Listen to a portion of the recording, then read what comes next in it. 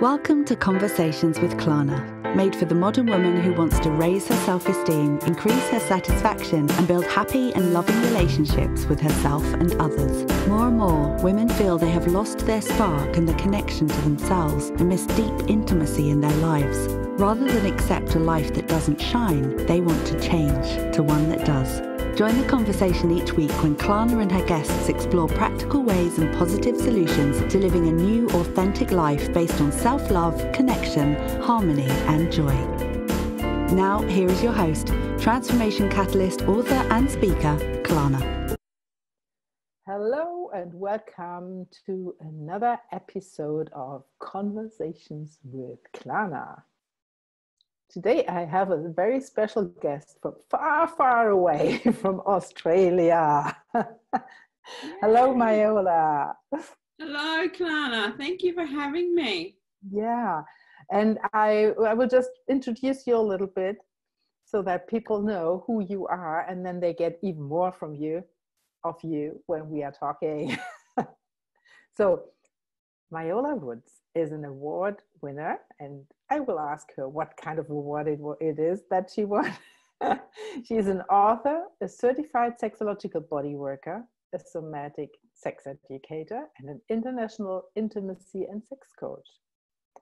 Myola is a pioneer with courage who bravely speaks about the things that make most of us uncomfortable. Myola will gently lead you out of your comfort zone and into the zone of personal growth and higher self awareness.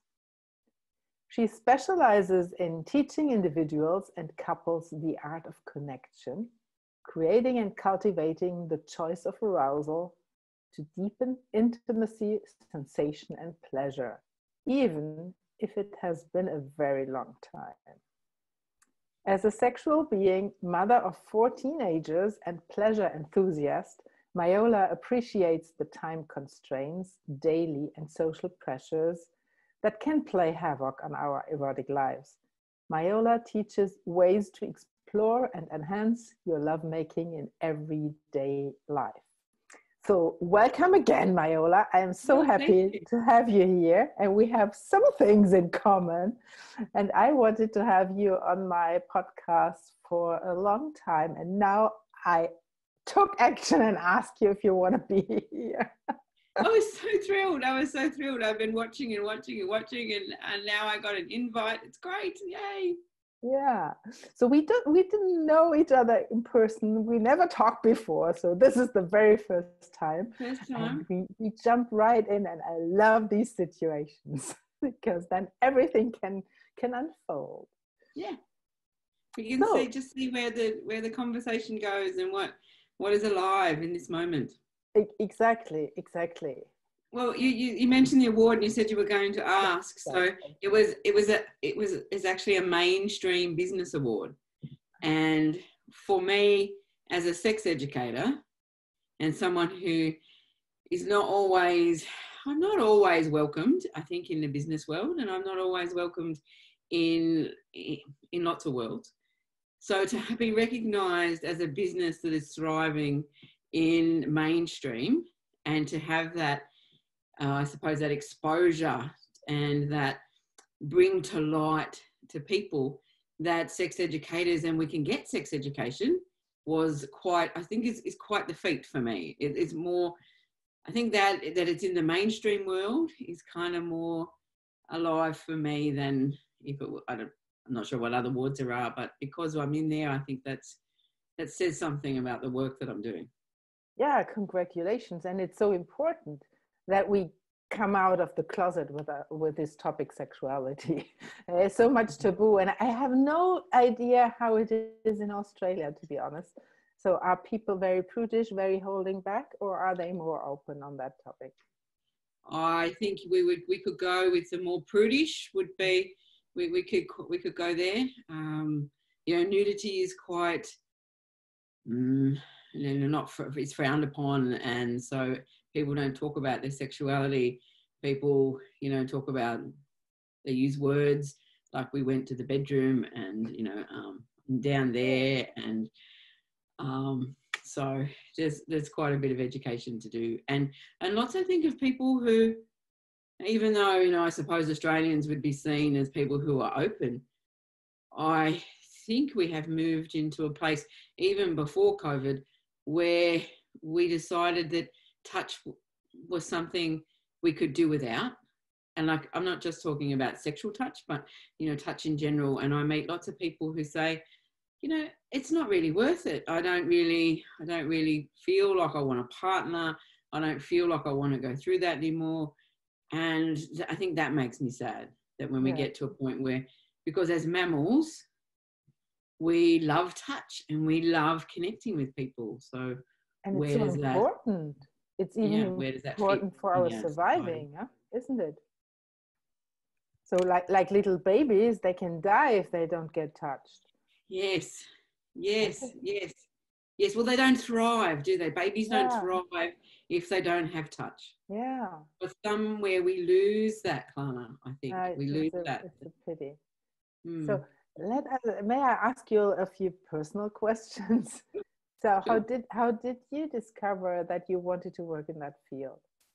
I didn't I didn't probably know I wanted to work in sexuality. I've always had two folds with either education and body work. And I started sort of in the energetic realms, in the metaphysical realms, and moved into more of massage and then more into working with women and pregnancy. And then I had my own children and I struggled to orgasm. So I and I've got trauma, so I wanted to know how that how that affected the body, how that affected pleasure, how that affected orgasm. So really, Klana, I think I've been my own um, my own guinea pig for lots of things. Mm-hmm. So, and then you you found out about the training. So I went a lot as I was moving through, and I'm just having my own journey with sexuality and my own pleasure and my own orgasms. I then discovered that people came and saw me, and no matter kind of what it was, it was a pain in their shoulder or a pain in their toe. Often there was some intimacy or some communication or something that was missing. And so I went on it. Yeah, so then I went and got some qualifications, and I just discovered there wasn't anyone talking about it. There wasn't anyone discussing how the energetics of sexuality went together, how um, how things get stored in our body. I mean, now I think that's much, much more open than it was a number of years ago. And I've just developed into sexuality and relationships and intimacy over the over my time, and I just. I suppose I love it, which is what, mm-hmm. and it brings for me, it brings all of the parts of my work together. So it brings my intuition together, it brings my qualifications together, it brings my education together, it brings my love of bodies and you know working in. So how does that how does that get together? And i get to work with people on a really intimate i get to hear you know stories that have never been told before. Mm-hmm. it's the same here with me. And and this is this is great. When we can offer people a room where they can open up and and talk because sometimes it's often already a big big step if they can talk about things that they cannot talk with anybody else. And then the next step is becoming um, more open to also do the body work. Yes. But, yeah. Yes. Yes so and there's a place where we've you know when we've kept something secret for so mm. long i find as, as i'm sure you find when people start to even to share that everything changes about them. Yeah. the way they hold their body, the way that they think, the way they interact, the way they connect, because this space is not contracted in here. Exactly. And when you are talking about this, I'm getting goosebumps and I, I see your face smiling. That's exactly why we are doing that job, isn't it? that, that's so, so great. I, I love that too. Um, you wrote a book I did. Let us know a little bit about that. I did write a book. Um, I have written. Um, I have a published, you know, hard copy book, and so it's called "It's an Inside Job: Twelve Seductive Secrets to Your Arousal." And how how I came about it was people kept asking me, "Well, how do I do that? Like, how do I, you know, what do I do with my partner to create that intimacy, that connection? What do I do with myself? And, and so I think often we think that our eroticism or our sexuality or our sensuality, whatever word you want to call it, depends on a partner. Is that is that how you have found it? Exactly, but it isn't. I always tell people it starts with yourself and it has nothing to do with the partner because if you don't love yourself, no matter in which way, bodily or in general, you cannot ex- um, you cannot really love a, a partner. Mm. Partners are not there to fill up your empty space. you need to be full and then share the fullness of another person. yeah. yeah. Yes.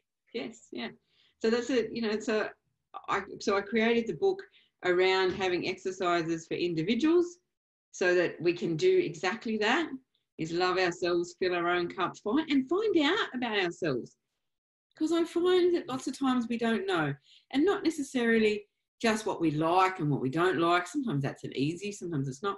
But what what are the curious parts? What are the subtle parts? What are the what are the nuances that happen in touch and feelings and creating within myself. Because if I can create that here, then I can create that with someone else. If I'm yeah. waiting for someone to bring that to me, I may never get it. Yes, that's exactly true. And it's still in a lot of people, they think that other person needs to fill the, the, the empty spaces. Yeah. And that it's a good learning for them, a good first step to see, uh uh-uh, uh, that's not the case. I need to start with myself. Yeah. Yeah. yeah. And and I yeah. was so I was the same before I started that route, that path. So I had a bad body image. I was inhibited um, up to here, and now I'm like you. We are talking about those un- uncomfortable topics without hesitating. So it's so. It's what really what changed for you, for you, Klana? Uh, the shame, I lost a lot of shame. The most thing was around shame, located about shame, I would say. Yeah. Mm. And that that helped totally to do to do the training to become a sexological body worker. yeah, yeah. And that the went shame. fast. That went fast. The, yeah. the training went fast, or you shifted the shame fast. No, I, I shifted it fast through the training. Yeah. Yeah. yeah. Of course, yeah. during the training, I bumped against some resistances still. And it's not that I'm completely shameless. No, not at all. I know where, where my boundaries are now, but they, I can, I can stretch them. I, I could stretch them, and it gave me the possibility to experience more things that I wouldn't have taken into consideration before. Yes, yes, it's discovering those new parts I find, and and then yeah. So in my in my book, the other section is the couples, and so what I think is what I say to people when you're reading the book together, you can say the woman says, she says it, she says we should do this, and she says that we could ask this question and she says we could sit like this and she says this. And i think some of that i'm happy to be the the kind of um, accountable one that they're accountable to me or that oh, it's not them suggesting it it's kind of taking that that pressure off that it's me suggesting it so i think there's a little bit of freedom in there that they can then be because i think we have so much pressure about having to get it right Yeah. and I just, that if we can take that off and if we can get rid of that, then we can have fun. Absolutely. I'm totally with you. The pressure is not necessary. Yeah, and I think you can you can let go of pressure big time when you start communicating. Yes. Mm. And when we and when we can share from a place of this might be clunky, I don't I don't know what it's going to look like, but I think I might like to try it. And if it's not, if it doesn't go well, we'll try something else.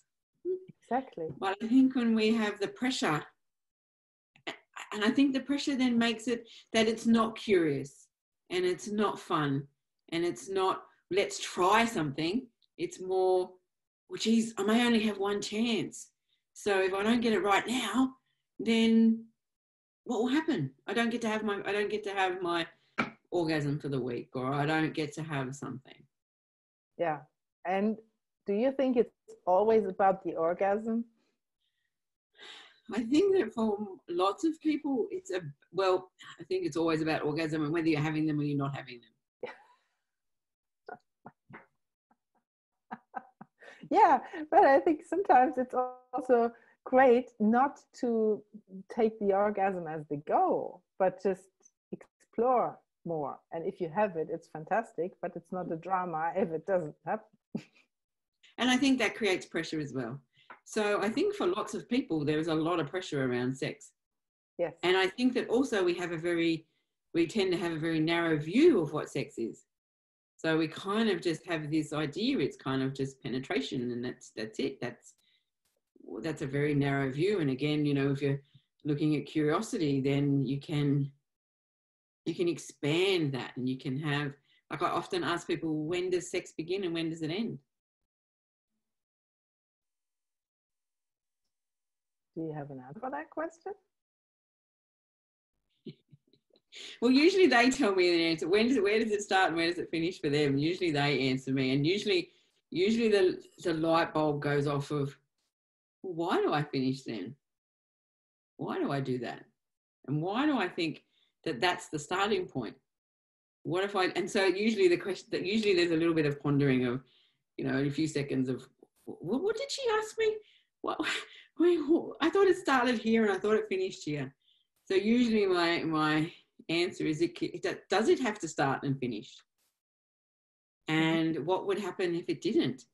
What if you just continued and if you expanded what sex looked like? You could be flirting or you could be you could touch somebody's leg and keep it going and you could you know keep the keep the flame going keep those embers burning rather than having to start from scratch all the time and just you know kind of keep it weaving and i mean it could be intense moments and then it could be really subtle moments.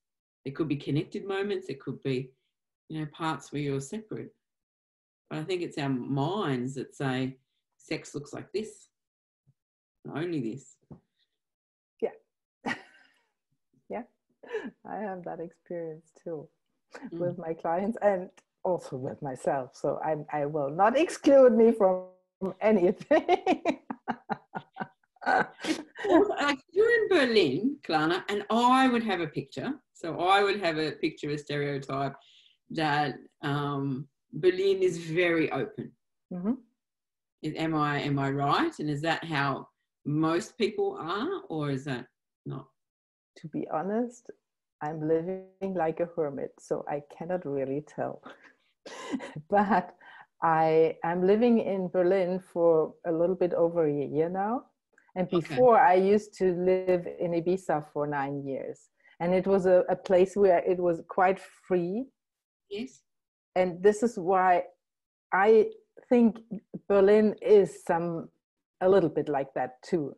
Because yes. if not, I couldn't be living there at all. I need the the atmosphere of a, of freedom and openness and not too close. This is in a little village or so where people are very closed up. That's nothing for me anymore.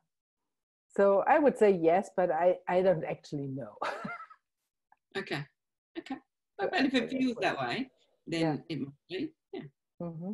Is Sydney different to other spaces, or do you experience that as well? That the different locations in Australia have different openness? I think it's one of those things that when you find an open group, they've kind of always been there, and all of a sudden you find more open groups, and you wonder, well, where was I? Must have been living um, somewhere else.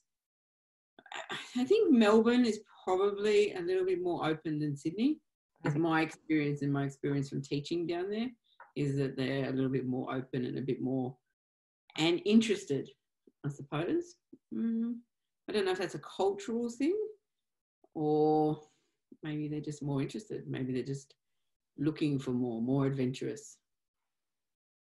when when you're teaching you just said you're teaching here and there so you you are changing locations uh, what what are you doing at the moment during covid okay, are you allowed to work with people in person or what are you doing now uh, i'm not working in person with people currently um, so my all of my work has gone online mm-hmm. um, so that's I was working online before so it mm-hmm. wasn't a big shift for me, but it hasn't changed really the way I work. I'm so thankful for the internet because I yeah. love the, the internationality of, of all of that. This is also a reason why I love to have you here from Australia. So it, it gives us totally different and more opportunities to spread our words. Mm-hmm. And what I realized during COVID before i didn't know that so much that it that it's possible to teach body work online but it is. It really works fantastically doesn't it? Mm. yeah and i think that is if we approach it the same sort of way and and i think that for me and the colleagues i've spoken to it's made us realize how much our body talks to us that sometimes we don't pick up in a face-to-face session. Whereas in in something like this, when we're on Zoom, we really we really tuned in and we're really sort of capturing well what's my body and what's their body and what can I we I think it's enhanced that ability. That's that's intuitive somatic ability. Yeah, and I, I think it's good that people can hear that because some some people think you, they need to be in person with you, and it, this is actually not the case and some sometimes i even prefer to talk to clients on the phone or without picture because then i'm not distracted by what i see. I can totally feel in. And this is of course different from person to person how they perceive other mm-hmm. energies. Yeah. Yeah and it, it also depends on what they're working on as well. You know i think we've done you know so we've taken meditation and I've been, you know, meditative for a long time. I must have been hard to get to sleep. And so my mum, you know, it's a long time ago now. My mum, when I was about eight, must have done this stress management course. I was an only child. I'm sure I wasn't that bad, but you know, she was off doing a stress management course, and she learned how what I would now call probably a yoga nidra, so a full body relaxation and breathing. And she used to do that with me every day. So you know, I think we've been, or, or people would still be on the meditation path, but you know, that meditation and the yoga, so that the physical practice and bringing that spirituality in. And for me, you know, I suppose what the sexological bodywork did and bringing that orgasmic yoga for me brought that those together, or the, like the three parts together. And so what I find is that is the orgasmic yoga is my erotic practice. So it's my meditation, it's my communion with God, it's my physicalness and getting in my body and being in my body and enjoying my body. And in finding out what is sensual what is erotic what is up for me today what is what is it? And because sometimes it's as simple as you know rubbing a leaf on my on my cheek. Sometimes it's much more elaborate and you know there's music and candles and lights and toys and blah blah blah. Um, but sometimes you know we can just enjoy the simple things. And so i think the next stage of our evolution. And you know, what I'd like to see on every corner, I suppose, because yoga studios are on every corner now, is that you know orgasmic yoga and that erotic practice bringing to to everyone. Would you please explain to people what or, uh, um, orgasmic yoga is? Because I think a lot of them don't know it. okay. okay, so orgasmic yoga. I'm going to explain my version of orgasmic yoga. Joseph Kramer has um, is the founder, the pioneer of orgasmic yoga. So go check him out. He's amazing. Um, but for me, orgasmic yoga involves the principles of breath. And for me, it's learning how to breathe so that we can get our nervous system to do what we want to do.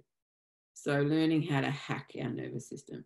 So, if we want to be more aroused, if we want to be more relaxed, and then we can use them in every day. We don't only have to use them in our sexuality, we can use them if we want to do a big project. So incorporating our breath, incorporating movement, moving our body, sound. And you know, sometimes I think sound is very inhibiting for people and we get very So even just starting to hum, even starting gets the nervous system, gets the nervous system moving. You know, so we've got breath, sound, movement, touch. So learning how to touch, being curious with touch. So bringing them all together, and if you've listened to anything with Joseph Kramer, he talks about often what happens is we use one of them and then we forget about the others. So when and if we don't practice outside of sex, then when we get aroused, we forget. And so we might be touching someone or touching ourselves, and we get very aroused and get very excited, and then we forget to breathe. Does hmm. anyone else forget to breathe? Does anyone else, you know, as they're getting close to orgasm, they, they short their breath? They so um, I'm sure I'm not alone. So if we can use our breath to then relax, and I think there's even like I for myself, there's a there's a few different ways to get into orgasm, but I think the one we kind of use is tensing, mm. and I think the another way is to go in relaxing and to go in, and to kind of you know let the breath and let the movement and let everything have us. But often, you know, when we when we do one thing and then we forget about the rest. So the idea of the practice is that we can then put the four together. And if you've ever danced with someone and you're treading on each other's toes, it's because you can't move and kind of move around together. So if you practice, then you can you know learn how to dance without stepping on each other's toes. Thank you. That was a wonderful explanation. I love orgasmic yoga. I love it. I just, yeah. I can I can see it. it's cool. So Myola, is there anything that you really want to get off your chest before we close here? I, I suppose I just we talked a little bit about what society does and what shame does. Sometimes I think having a look at where things come from. So where does our belief around sex and orgasms and shame, where does it come from? where does it come from growing and hollywood like i think that sometimes we underestimate how much we see in hollywood about sex and romance and love and how much we expect that to play out and we expect how much we expect it to look like that and we can blame porn as well we can blame that but i think hollywood has you know a lot to do with it as well where they you know kind of get you know there's this one crescendo moment and you know they don't tell you it's taken them five days to you know edit and cut that to get that one moment they don't mention that bit you're just supposed to get there like just um and you know they talk you know the, the aesthetics of things you know the women uh, particularly you know they arch their back and they put their head back you know in from, from a breath point of view and a sexuality point of view that that's not always the best way to kind of let things flow.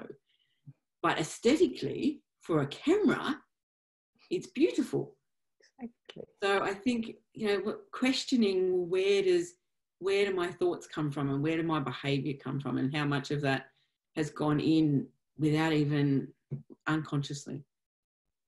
Yeah thank you for adding that to the conversation that's important too and thank you thank you very much uh, it was it was very interesting and i hope as well teaching for the listener and the viewers. Thank you so much for Thank being you. here, Myola. And I will put in the show notes all the details how people can find you. You. Thank you Thank you for listening to Conversations with Klana. Remember to follow us on social media and get connected. Visit our website, conversationswithklana.com, for show notes and additional episodes. And if you like this broadcast, please share it with your friends to help us empower more women to live an authentic and happy life and make this world a better place for everyone.